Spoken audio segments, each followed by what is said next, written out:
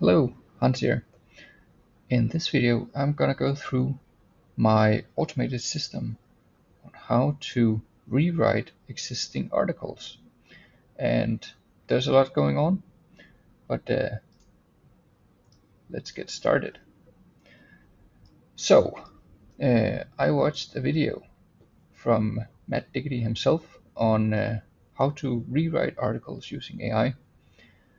And he had some very good points in that video.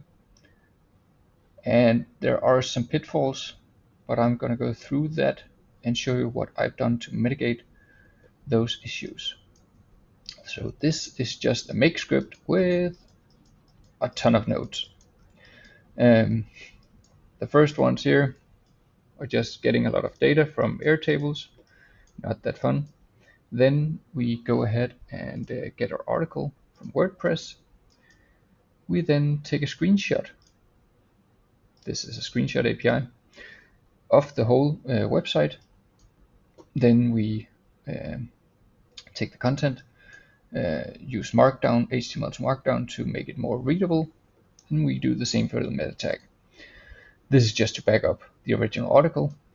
Then we generate an outline based on the original data. So the outline might not be stored anywhere and we would like a standardized method of writing an outline. So we have AR, AI have write our outline uh, from the original content. Then we go ahead and do a, a uh, keyword search. So we specified, um, in order to get this, we specified the blog ID and we specified a main keyword. That main keyword is used here to scrape or to look up the SERP uh, data and we have language code and location code and so forth. We then uh, parse the data, not that uh, exciting. This is more exciting because then we use AI to create a search intent. So based on our original keyword that we just searched for here, we're using AI to define a search intent and content expectations. So we are trying to determine very specifically what the search intent for the user is and how that content should look once they click on a link. So what are they expecting? Expecting is it a list? Is it a comprehensive guide? Is it a baking recipe? Um, so we'll generate that here. Then uh, we will uh, create a rating of our original blog post. So we'll go ahead and rate our own blog post.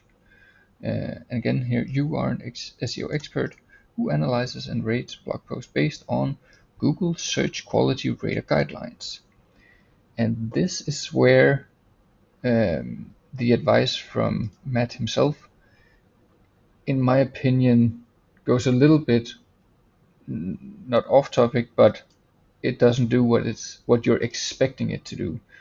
It gives you, if you just ask ChatGPT to analyze your articles based on um, these uh, search quality rater guidelines and give them the documents, it will give you answers that are somewhat based on the document, the document is 172 pages long, and AI cannot hold that many tokens within its knowledge or its memory.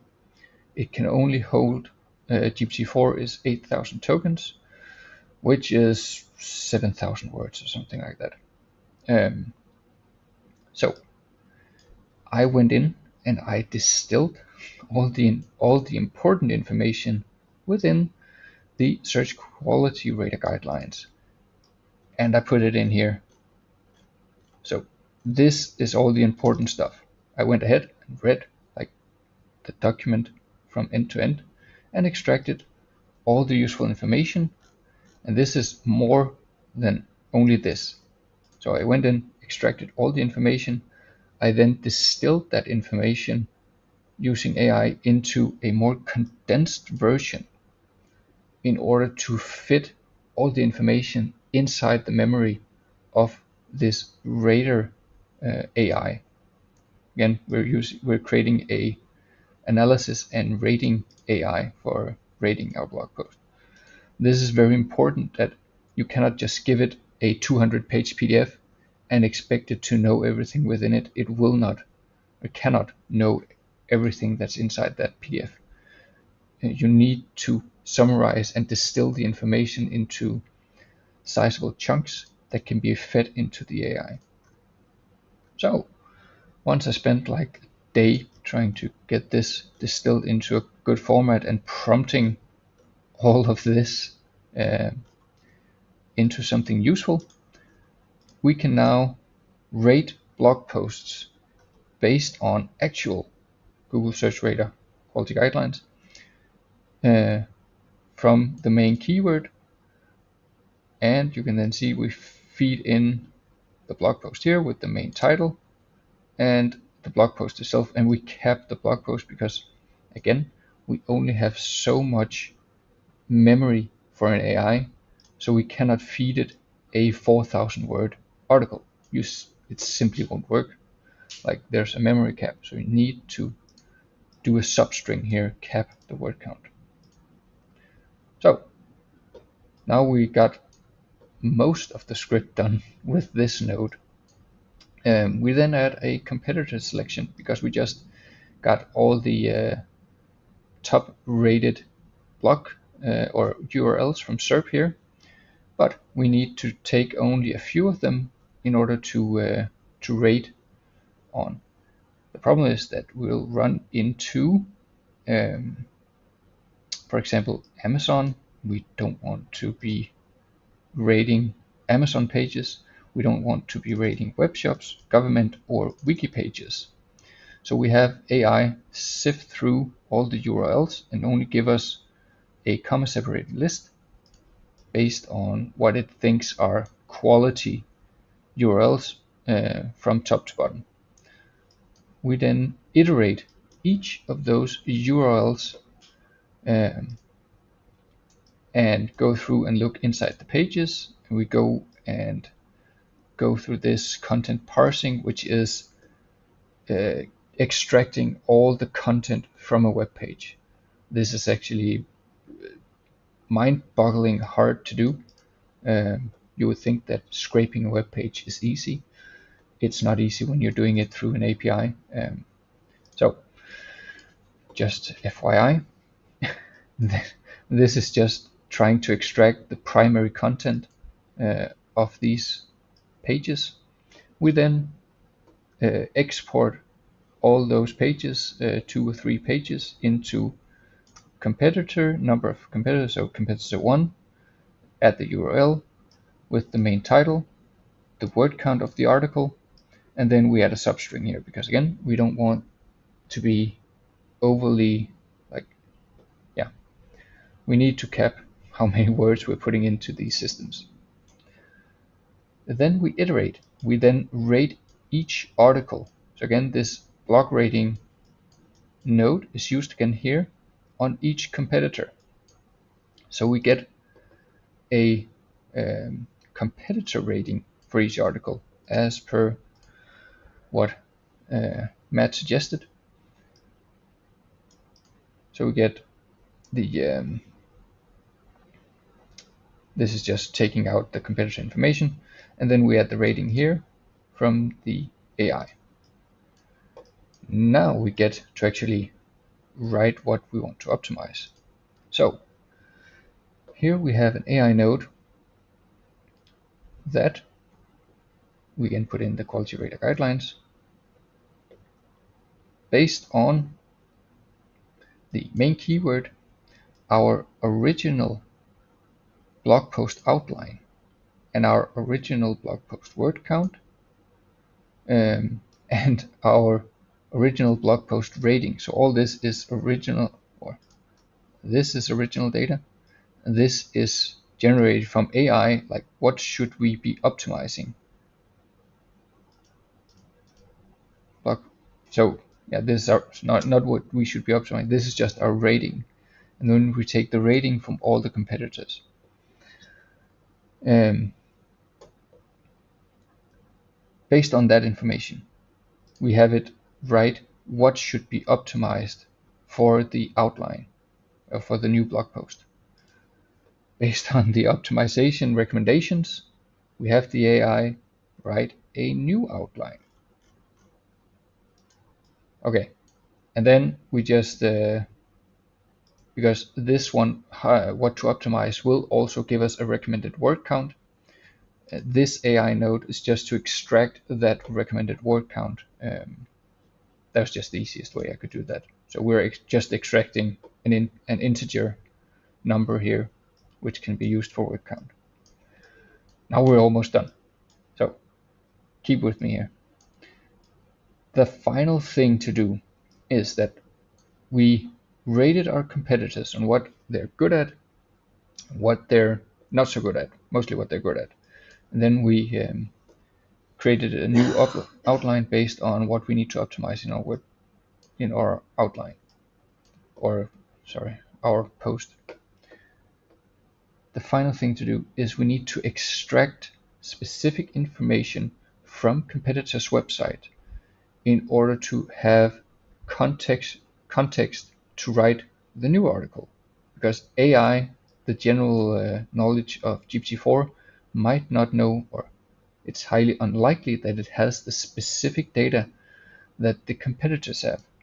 So we will take each of our competitors uh, blocks and we'll create an extraction uh, an extraction AI that will go in and extract uh, specific knowledge from co competing blog posts that are relevant to our new, this is our new um, blog outline, and specific to what we need to optimize. So you can see here that please create a specific information extract from the competitor blog post, which is this one down here, uh, that can be used when writing our new blog post. Use our blog post outline and what to optimize to determine what information should be extracted from the competitor's blog post. Use no more than 200 words. Again, we need to be brief as possible with all this information because we need to feed it back into a writer and the less words we can use, the better. Never mention the competitor or competitor's author. Write as if the information was our own research without referencing competitors. That is because else it might sometimes reference the competitor as a site and we don't want to be linking to these competitors or have that woven into the text. Then reference credible non-competing external sources. So if it references a government link, we can pull that in. And it will do that for all competitors that we found over here and create a, a, full document from all these competitors, um, which will be just a summarization in bullet point format that can be used to write a new article. And the new article is more or less just a combination of, see, rewrite here.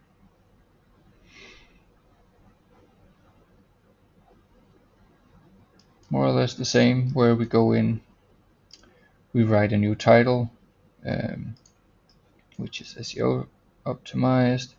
We write a new meta description. We write an image prompt if we need to generate new image from an image generator. And then we write a blog post. So your fun engaging article writer with uh, and an expert within, expert description, yada yada yada. You never add fluff, you always write the most important thing first. You always follow the tone of voice and writing style guides. Um, and then we add tone of voice and writing style guides here. Then we add again the search quality rater guidelines. I slimmed this one down so it's more specific to writing uh, but it's still very comprehensive. Then we add Stanford questions uh, answer dataset, which is how to answer questions in an NLP friendly way. We then write, please write one section of an article about main keyword titled um, this we just wrote a new title and this is an informational this is an article type article so we have a big writing guide on how to write and then we add this is just one section of the outline um, and then we have contextual information this is the competitors extraction so the extracted information from the competitors are then used when writing a paragraph here and then we have the complete article outline for reference for the AI. And it does that how many sections or paragraphs it needs to be written. And then it compiles all that into one article and at the end it does an FAQ. Again, writing style, Stanford question answer dataset, how to answer uh, questions in an NLP and SEO friendly way and yeah that's it and then it outputs a rewritten article based on competitor information and using AI on how to optimize it. So I hope this was useful and um, yeah, write a comment if you want to know more. Bye.